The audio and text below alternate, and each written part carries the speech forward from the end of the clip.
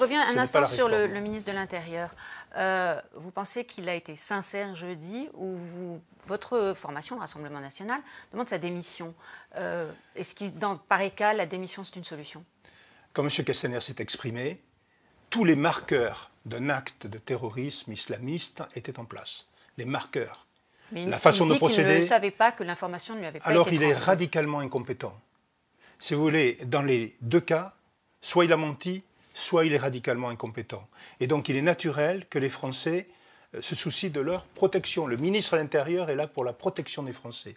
Il ne l'assume pas, ce n'est d'ailleurs pas la première fois. Est-ce qu'il faut pas faire de la polémique sur, non, dans un moment pareil On n'est pas là pour que la démission serait une solution quand même On n'est pas là pour faire la politique politicienne, mais la démission, le limogeage de M. Castaner signifierait que le gouvernement a pris conscience de cela. Or, ce n'est en aucune façon le cas, puisque le Premier ministre vient d'accorder à nouveau sa confiance au ministre de l'Intérieur. Donc la structure se maintient, alors que normalement elle devrait être totalement modifiée et surtout faire une nouvelle politique en matière de lutte contre l'islamisme et contre le terrorisme.